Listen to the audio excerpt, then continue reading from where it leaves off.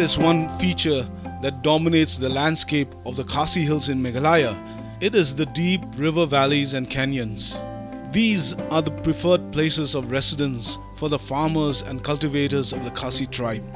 The terrain may seem inhospitable to outsiders, but to the native people, these river valleys, way down below, are their habitat, a land of plenty, the origin of civilization.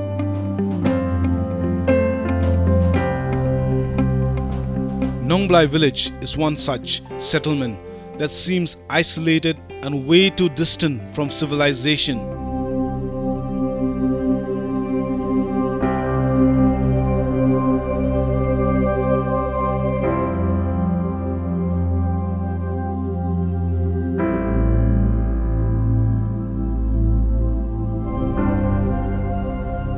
Located south of Shillong in a deep valley near Watlingkhat village, Nongblai captures our imagination on closer inspection.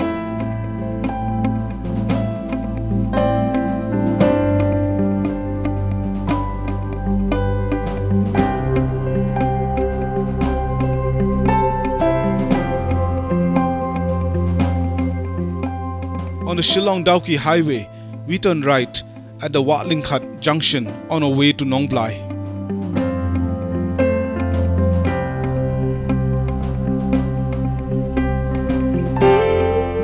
After some 200 meters, we get off to trek down the 4000 odd steps all the way to the village. This is the start of the journey to a village which is unknown to many. This is a heritage village surrounded on all sides by steep mountains similar to Shangri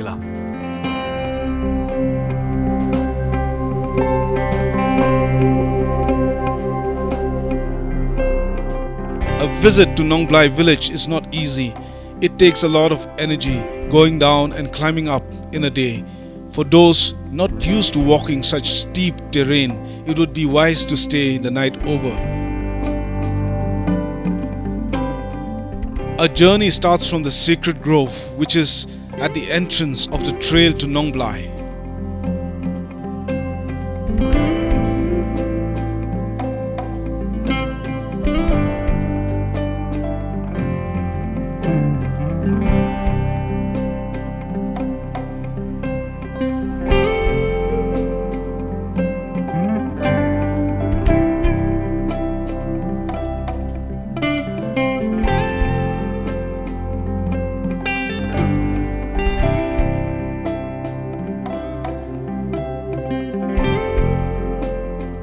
We walk down the steps with broom grass growing on both sides of the path.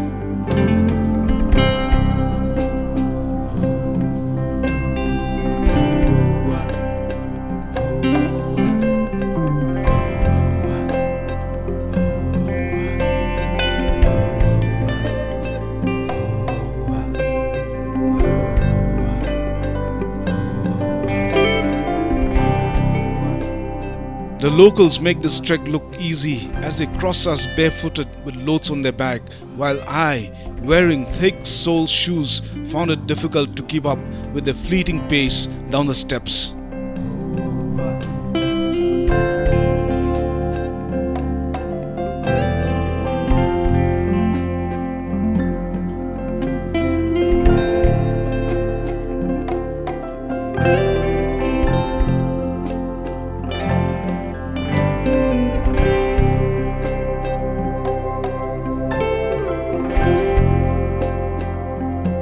After 20 to 30 minutes, we reached the ropeway station on the way.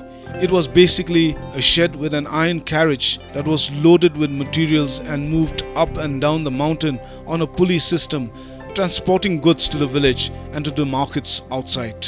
In the absence of a road where goods can be loaded on vehicles and transported, this ropeway carriage has somewhat helped in transporting heavy loads for the villagers. However, most of the villagers still carry the goods on their backs all the way up and down. When you live 3000 feet below, there are only two options to carry your goods. One is the headload, the other is this ropeway. Before we step into the village, we make a detour, turning left onto a cobblestone trail that cuts across the old abandoned village and leads to some of the best known specimens of the root bridges of the Khasi tribe.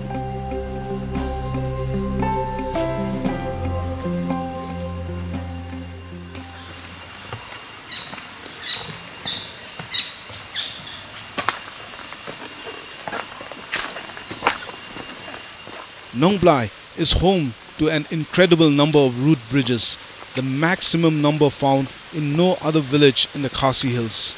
Altogether, there are 16 root bridges that are still functional and in use by the villagers.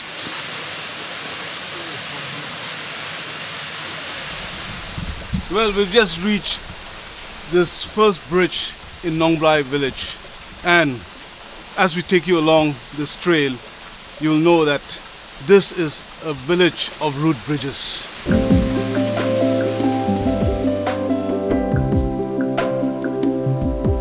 Nongblai bridges are very old as per the accounts of the elders in the village, some even 300 years old.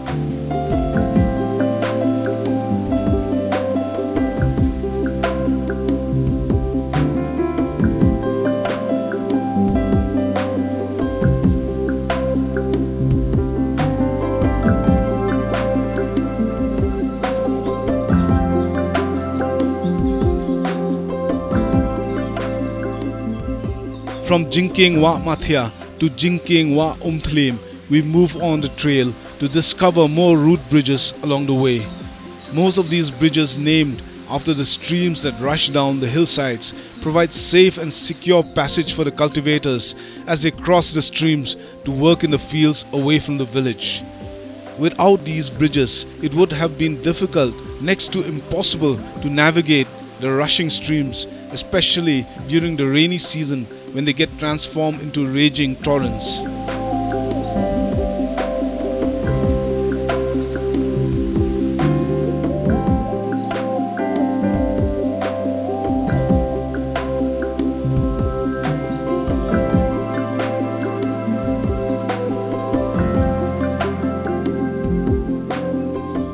Nong Nongblai is also known for its oranges. We pass by the orchards, but most of the fruit had been harvested.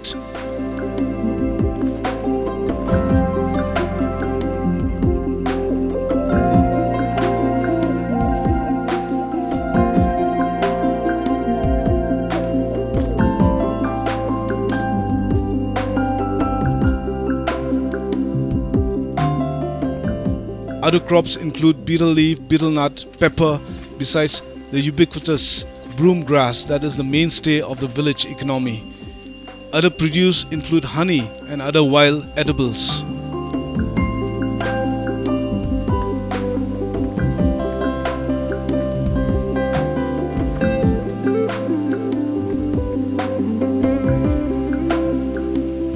Every root bridge has its own shape and character. No two bridges are the same except for the common ficus roots that are intertwined to form a lattice and trusses that support the bridge. This specimen of rubber tree, scientifically known as Ficus elastica, is also considered sacred by the natives of this region. It is as important to the environment as it is to the economic, social, and religious life of the people.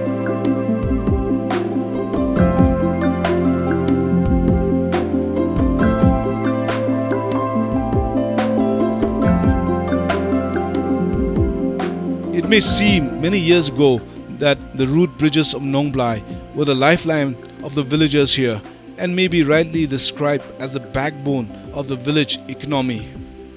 Today, the bridges have assumed a new identity that is more of a cultural heritage status, an example of the tribe's innovation and ingenuity to conquer nature.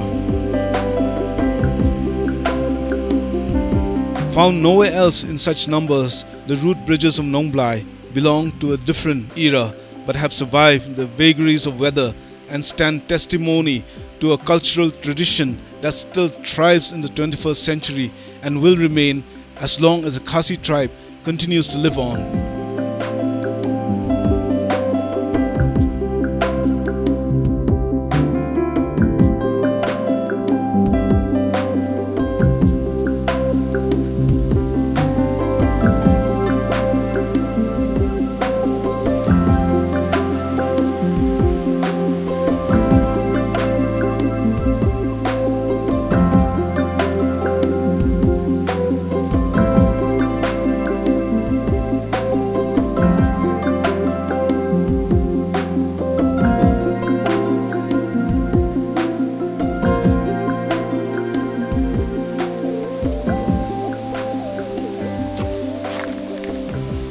How do you determine the age of a tree? In conventional methods is you cut the stem of the tree and you count the alternate rings on the stem. The other method is you bore into the tree and there's a stem borer and you take out the stem borer and that's how you determine the age of the tree. But in this case, this is a conglomeration of stems and to measure the age of a Ficus elastica is almost impossible.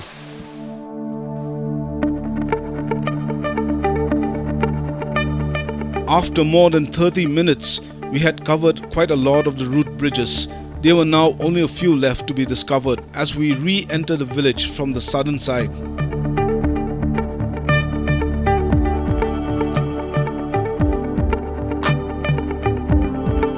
A bird's eye view of Nongblai village reveals a green patch with houses in between interconnected with a network of footpaths. We walked through the village, which has about 60 to 70 houses. The population is small and most of them are farmers cultivators.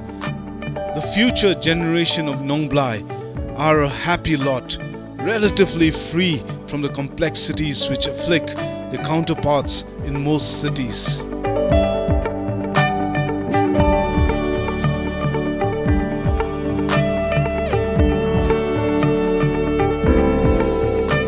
There's an upper primary school constructed by the government. The classrooms here are rudimentary with basic facilities typical of the schools found in remote places like Nong Nongblai.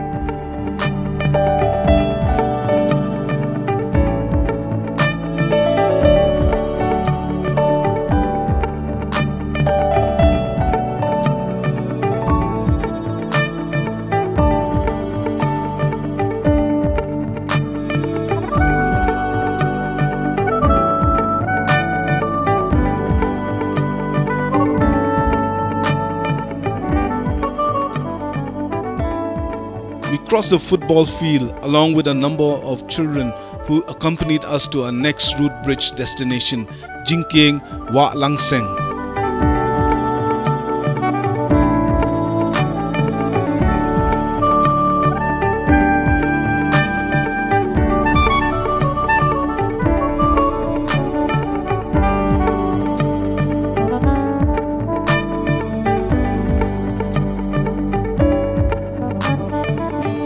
Langseng River is one of the widest and longest river in the village.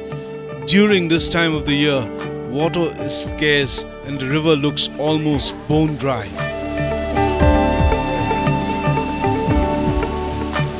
This was by far the biggest bridge, spanning some 25 to 30 meters in length. Recently, with the advent of tourism in Meghalaya, these root bridges have become much sought after destinations. These ancient lifelines of an ancient people have become a spectacle to the outside world, attracting hundreds who wish to experience a walk across the bridge.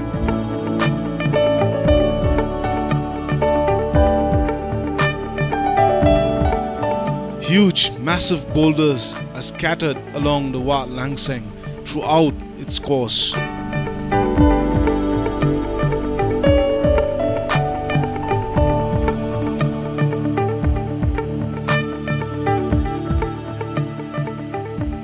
The remoteness of Nongblai village is the reason why not many people know about this root bridge heritage site. There is hardly any documentation in the past on these root structures.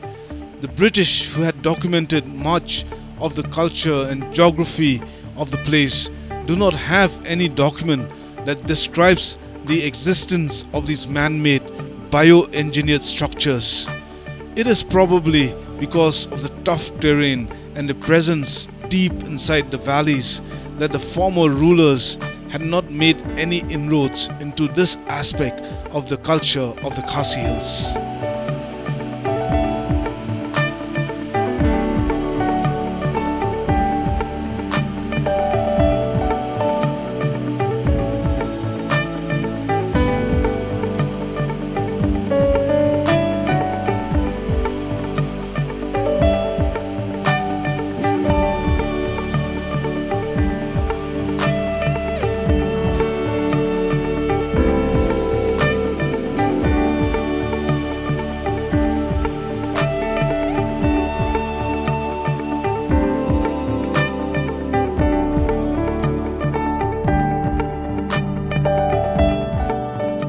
Is surrounded on all sides by towering peaks, much alike the legendary Shangri-La. From Jingkieng Wat Lang we visit one of the elders of the village who was the former elected head of the Council of Villages, Bat Nokot Kiriem. He invited us to his house where we were given the opportunity to beat the traditional drum or bomb which he had just finished making. Bat Nokot was a master craftsman who had received an award and citation a few years ago from none other than the President of India.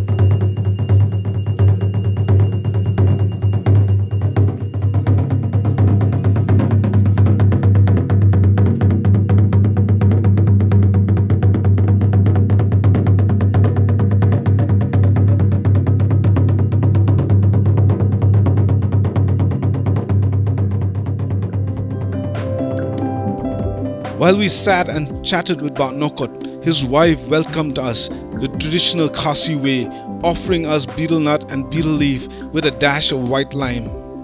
In every Khasi home, the offering of betel nut and leaf, which is chewed, is a common practice. No matter how poor, every household welcomes a guest with a piece of this nut and leaf.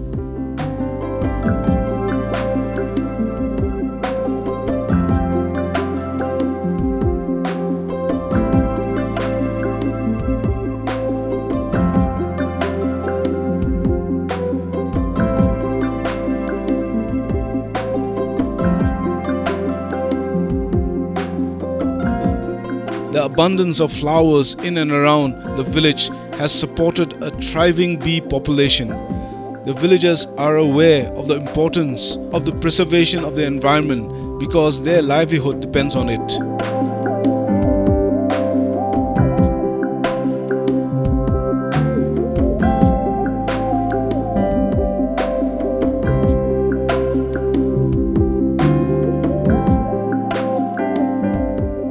Our journey is coming to an end as we take a break at the village headman's house to refresh ourselves and eat some food before returning to our homes.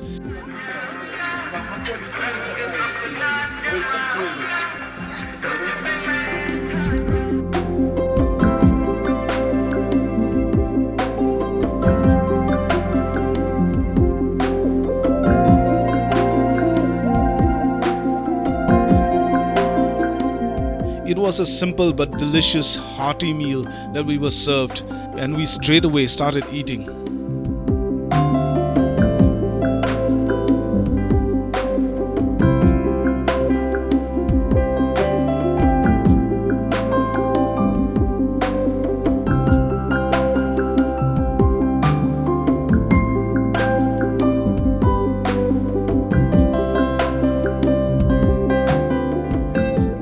Before continuing on a return journey, we stopped by another bridge, Jingkieng Wat Surak.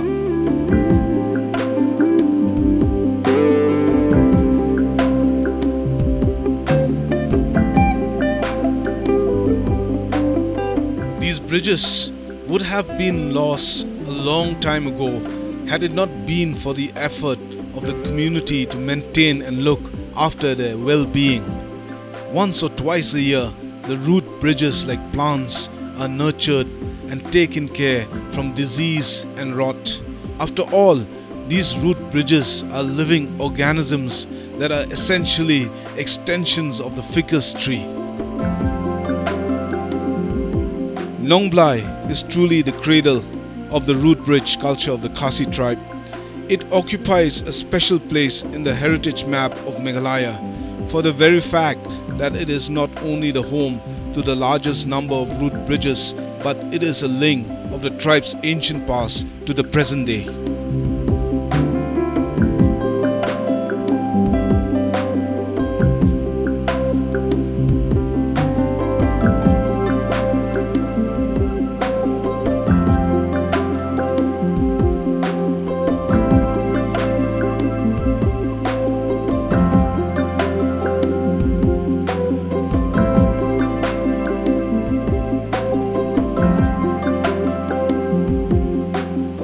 Started raining a bit and we moved on to the last bridge for the day, Jingkieng Wa Lorum, literally translated into the bridge over the water.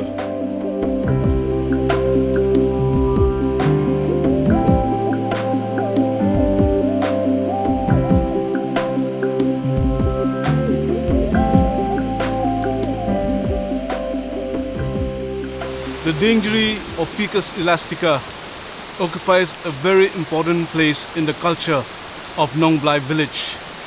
These are not only man-made bridges, but they are spiritual entities. This is Ian signing off. Until we meet again.